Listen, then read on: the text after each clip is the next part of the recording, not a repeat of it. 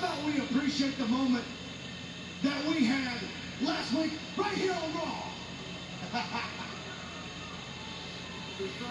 AJ Styles an opportunity to win the United States Championship. He was lined up by his buddies Anderson and Gallows. Oh, All your talk about us losing our edge, what's happening to you?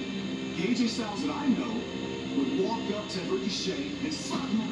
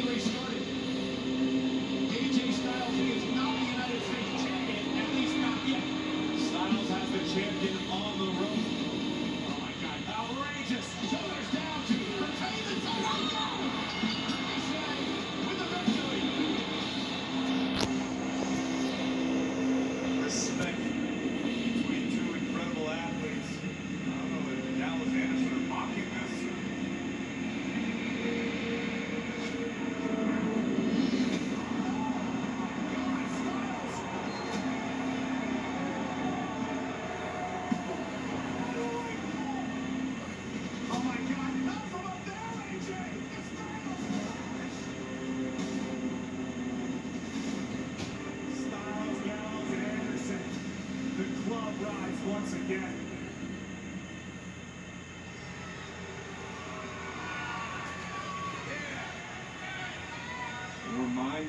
AJ Styles reminding Ricochet just what exactly